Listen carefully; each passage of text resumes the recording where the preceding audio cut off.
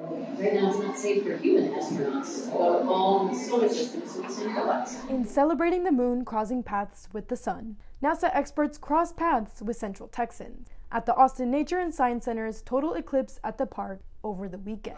We have subject matter experts, we have planetary scientists to give talks, and then we are explaining some of the active missions at, you know, that NASA is doing. Kids and parents made indirect viewers, checked out NASA's six-wheeled rover, and even explored the stars. We've also got the Austin Nature and Science Center Planetarium open, so people can learn a little bit about uh, the night sky and um, just learn about astronomy in general. Inside the planetarium, Austin Nature and Science Center staff displayed constellations, an outside view of the Earth, and even simulated the total eclipse. So it's 9 in the morning, and our eclipse is actually going to take a pretty long time. NASA employees help Central Texans prepare for the total solar eclipse. The first step getting eclipse glasses.